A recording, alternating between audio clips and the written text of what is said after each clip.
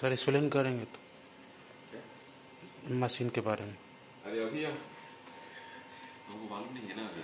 little- prepare नहीं है एक दिन आएगा प्रिपेयर करके हम बताएँगे। नहीं ऐसा ही little bit what are the parts component mainly sir this is vacuum deposition electron beam vapour deposition machine जहाँ पर हम लोग वेपर कोटिंग करते हैं इस तरह का कोटिंग करते हैं हम लोग। ये।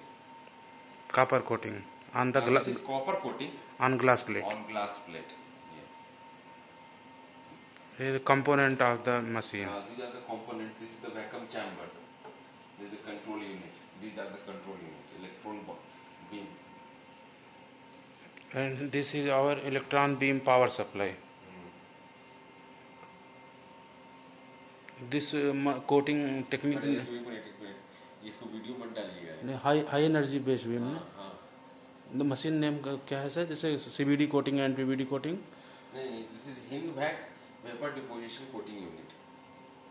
Hind high vacuum corporation Bangalore okay if you want to see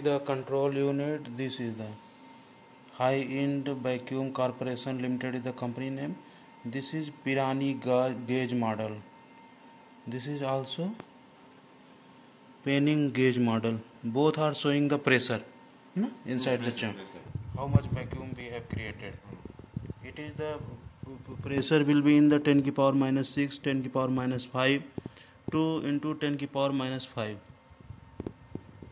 here you can see the voltage high voltage kilowatt at uh, the voltage uh, electron is generated power vacuum water gun local remote